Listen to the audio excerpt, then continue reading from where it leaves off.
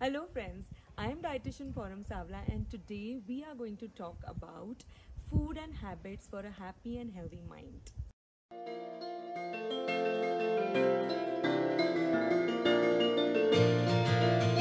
So when we talk about food and habits for a happy and healthy mind, we've always spoken about body, but we've always left the mind away. And when I was in such a climate, you know, where things are actually supporting the topic that I'm going to speak on, it's awesome. So the vibes automatically come you know. So anyway starting about the simple habit that can really change. I have started adapting it. I have seen a change. And you and i felt like sharing it with you guys that how you can really with simple habits you can definitely have a better better and a happier mind okay so the first thing is that whenever we wake up okay in the morning and whenever we sleep at night these two times are very important because our brain is actually at its like, optimum. So you must start your day not with worry but you must start your day with whatever you want to thank and appreciate and manifest you know. So all the positive thoughts line up in your brain. But we normally start our day by thinking oh you know today i have to complete this work. Today i have to meet this person. How will my day be? We actually start our day with fears and worries which are negative emotions the moment you start appreciating thank you god that i am awake today with all my uh, senses working. Thank you for whatever you have given me.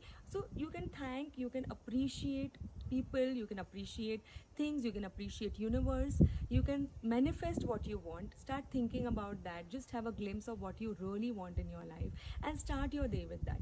You automatically start your day with a good vibe good emotion and whenever you're sleeping don't end your day with insta or facebook or any other social media or news or movies. Just end your day with actually thanking god and actually seeing what you really want to achieve for the future life then second thing what i've adapted and that is really good for a healthy mind is that you must definitely uh, you know start consciously taking this one hour break. So how we take water break every hour?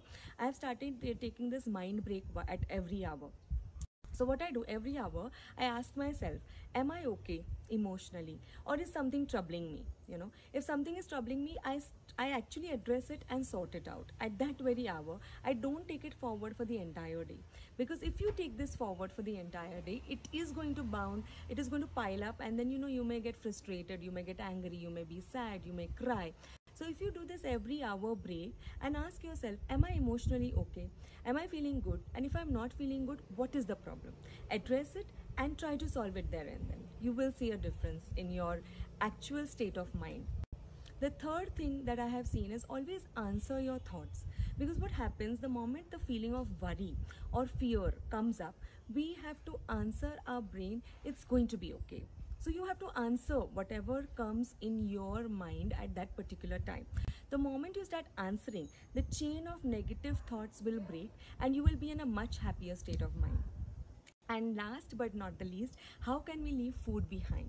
So if you include omega 3 omega 6 which is in nuts good fat like avocado oil uh, it can be your olive oil it could be all your pistachios almonds walnuts. So good fats avocados if you start including these kind of food which are good for your brain you will definitely see a difference. So i hope you like this video and you will follow these tips. Bye bye for now